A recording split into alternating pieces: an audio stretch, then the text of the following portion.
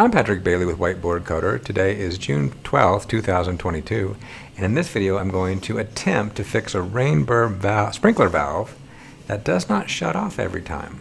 Okay, I put my own sprinkler system in a couple of years ago and it's been working great. And just to go through some URLs real quickly, here is the valve I'm using from Rainbird. Here's a direct link to their set of valves. And I happen to be using uh, and I actually bought this at the sprinkler store. It's not an affiliate ad. It's just a, they did a great job. They had a great price at the time, and I liked them. Ordered a bunch, and I got this Rainbird 100 HV NPT. Now I did, luckily, make sure to order more than I needed. So I'm putting the whole system in. I ordered two or three extra valves that I had no plan to ever use.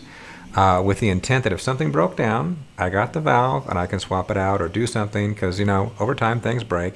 And I was and should I ever sell my house, which I have no plan to, I would leave these with the house for the next owner so they just had replacement parts. Um, and I think that's going to pay off in this one. So what I have occurring right now, it just started here, it was occurring a little bit last year, and now it's kind of just full blown, happens all the time. On one of my sprinkler heads, um, just one, all the rest are fine. If I turn it on electronically, the uh, solenoid will go, the um, the valve will turn on, everything will work just fine. However, it will not shut down. And last year it was every so often, you know, one or two or one or three times, my wife could probably tell me better because she's the sprinkler goddess, uh, it would not shut off. So sometimes it would work, sometimes it wouldn't. And then what I had to go do is I had to go over there and even though it was technically off, you know, as far as electronics concerned, I had to go turn the main valve off, let the pressure go down, turn it back on, and then it was fine. So that became a pain to go deal with that one zone. And my wife's been dealing with that. She's the, as I said, the sprinkler goddess. So she's been dealing with that, and it's not too much fun for her. So now, um, oh, here's the next thing. If you if you're having the, if you're having some problem with your flow, go watch this video. So uh, Rainbird did a great video out here, and I'll put a link to it that just shows how this valve works. And I think it's probably how most of their valves work and it's pretty cool. So I'm not going to show it here and go into detail, but go watch it and get an idea. But basically what we have here is, and I'll, I'll, take this apart and kind of show it here before we go dive out there. We have this diaphragm up here which has all this pressure pushing down and then that valve releases it and releases the pressure so there's less pressure sealing it and then that allows the water to flow through. So I have a feeling that my seal is not sealing well and that's what I need to fix. And luckily I believe, I haven't tried this, we'll see, I believe I can take the guts out of a new one and swap them out for the guts in the old one, and I think that'll solve my problem. That way I don't have to cut any pipe, remove anything. I can just reuse what I have, and I think that's going to work. Uh, now in this video, we'll kind of see that it works that one time, uh, but how's it going to hold, hold up over time? So what you uh, look look in the uh, in the responses in the comments because someone needs to ask this question, or I need to post myself hey, it's been two months and it's fine. It's been a year, it's been fine. So go look for those things because maybe this might be a solution or it might be a temporary solution. I, I or it might just end up being better to replace the whole thing, or I might be wrong and it might be another issue. Well, I don't see how I can be wrong. It's the valve. The valve is the issue. So with that, let's go kind of do a close-up on what I'm going to do, and let's go do it. Okay, so here is the valve, and I already took this one apart. This is the, the fresh one. I used an 8 millimeter socket wrench take all these guys out. So they're pretty long screws. But I got this top off. The idea is I want to replace the whole thing. But also, I want to replace the seal. So down here, once I take, take that off, all in one fail swoop, we have this seal down here that's got the spring on it. And it's kind of attached there at the end. So I'm just going to gently try to pop it off. I don't want to break this. There we go. Because I think the idea is this seal is probably not as, what, as good as it should be. But also make note, it should be pretty easy. The flow, this little guy, you see the flow number, flow arrow here. I want to line that up. It should be, well, it should be pretty self-evident where it's going to go. But then we got to also make sure this guy lines up in the same way in which it should go. And again, it should be self-evident because that hole is going to go in that hole. So I think the idea is something is either messed up in this guy or there might be something because the water does flow. If you watch the video, the water does flow into here and through here. This could have a seal broken or something. I don't, I don't know. It's, this is not my expertise, just a regular homeowner. But let's go replace this and see if that solves our problem. Okay, so start off with, I need to go turn off my water pressure. And also look for spiders, because I apparently have some spiders. So I got my pressures off to these particular guys. And then this is my culprit, so I'm going to just open it up wide to relieve any last bit of pressure out of there. And what I'm going to need to do is get this guy out, which I'm sure this is going to be a little, to probably get a little wet doing this.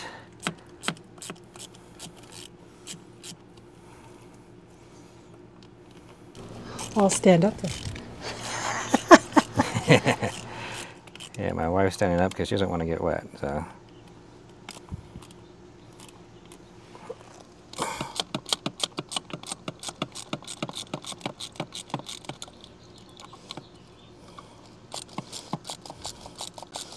The pressure should be off. I see a little bit of water leaking out, but not much yet. Just residual water pressure there. Uh, another thing you could do, which is not necessary, is you could unplug it. Now right now there should be no power going to it because the valve's not turned on. Uh, but if you're a little concerned, you could unplug the power. But these are low voltage, 12 volts. And so, I mean, you could probably lick it all day long and not hurt yourself. But if you were concerned about power, you could go shut it off. I have not, but that's not really. You need to put a advisory on there. Please do not lick. Please do not. advisory. Please do not lick power outlets. Yeah. Sorry, my wife's giving me an advisory. Don't, don't lick power outlets. Even low voltage. Even low voltage. Don't go. Not a good habit to get into, right? Licking anything where power's going out.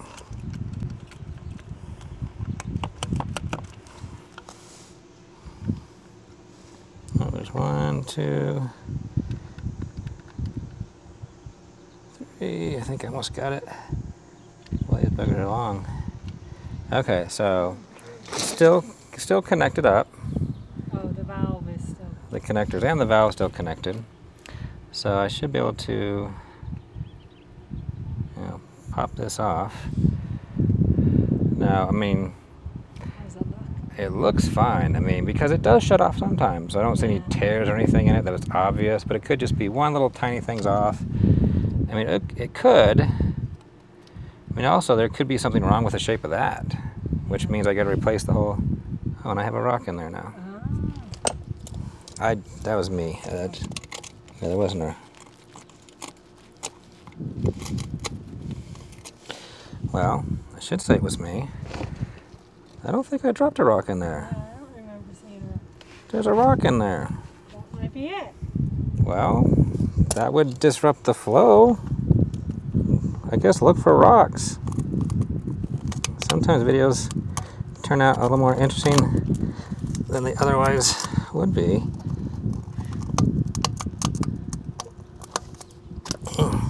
Man, that was stuck. Yeah, well, there was a rock in there. Huh. Well, I just dropped the rock down here. It was a little tiny yeah, rock. It I, was. I saw it fall. Saw it? Okay. Well, heck, that Might would do it. might that would make the flow a little different, but Would it stop the seal? uh, it could push up against it or something. I I don't know. But you know what? I, I did not. No, I did. Well, this could be my fault. I did. Um, well, no, it is my fault because I redid everything. Because we took out. This is my fault. This is totally my fault. Because I redid all this stuff, put everything in, and maybe I didn't notice that a rock fell in when I was attaching it, and it got shoved in there. Wow, maybe that's to blame. Do you want to Well, continue or just Ugh. if that's the reason why it's not turning on and off? That's a good question. So, well, I have a reason. I have a reason. There's a reason why, well, when there's an obvious reason, if there's an obvious reason, let's go put it back together. Okay, I'm going to put everything back. You think you're going to do one thing, and you end up doing another. But the, the process would be the same. You know, you'd stick this guy on here. I'd stick this. This is the original. I'm going to keep. I'm to keep the one together for now. But I might be back out here doing the same thing, another video. um, I'll put this guy back out. Now the only thing that would be different if I was to replace this guy was I would need to cut this off. So I would uh, I would come down here and I would cut these off. That's why I brought all this out here. I would cut the cables, you know, pull them back a little bit, uh, strip them a little bit, and then attach all the new stuff off. But I'm, I'm, I guess I get to save a step this time. As okay, well, wow, there's Well, out of out of six times we turn on zone two, it'll screw up at least once if that wasn't it. So so one in six times. Okay, so yeah, that's something I, I it'll try now. that's something I mentioned earlier that uh, it, it was intermittent and um, but boy, it's a pain when that thing gets stuck and stays on for two hours, and you get to watch your water bill go up and up and up, right? Okay, get in there. Okay, so we might. Well, I might. I might save one of my water valves for a future replacement, right?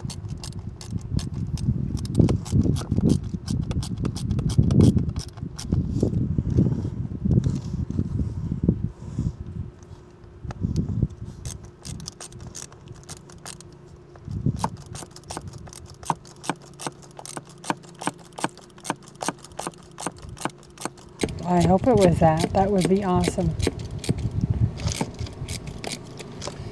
Boy, that would be. Because it seems, you know, when it works, it works, which is kind of weird. Yeah, and that that flow, that water flow around that rock is probably always changing just a little bit, and it's probably hitting different things different times because jerking back and forth. And well, no, that would totally be it. cause the thing not Um.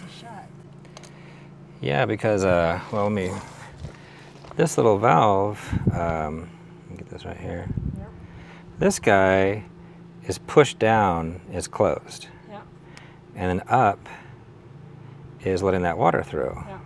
And there's a rock in there. And if there was a rock right there, if all of a sudden it just got wedged a little bit and then this couldn't quite seal, yeah, that I'm I'm pretty certain it's a rock. But then I shut the whole thing off. The water pressure goes down, that rock kind of settles down. The seal becomes good again. And then uh, then I'm okay. And maybe I'm okay for, like you said, five more times. And the sixth time, it just kind of moves around just enough. Okay. So I guess note to self, when you're putting in sprinklers yourself, make sure you don't stick a rock in there. I mean, I'm the one that did. I. the good and bad about do it yourself is uh, you're the one to blame, right? Something goes wrong, and you're the one that did it. Hmm. Make sure this is sealed here good.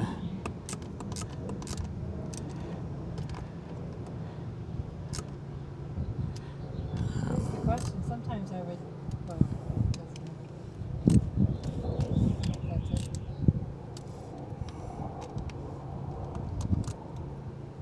I hope so too. So I'm going to tighten these down, you know, Okay. snug.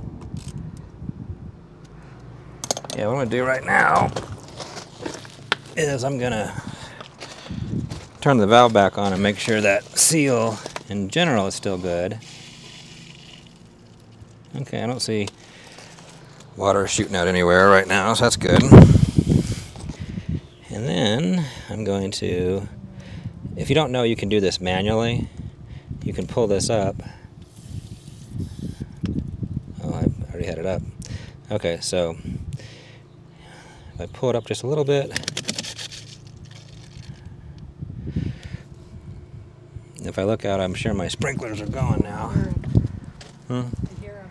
Oh, I see them. They're good. There's there's probably no reason to film that. Just, you know, the sprinklers are going.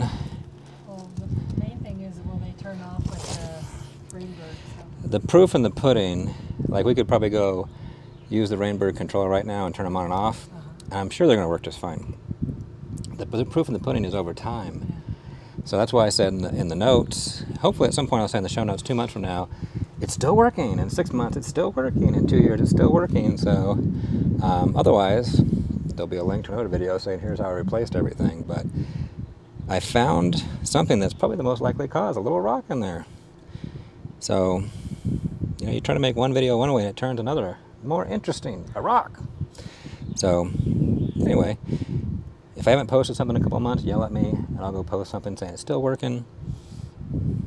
Okay, easier to repair than I thought. So, cool. You know, should have done this last year.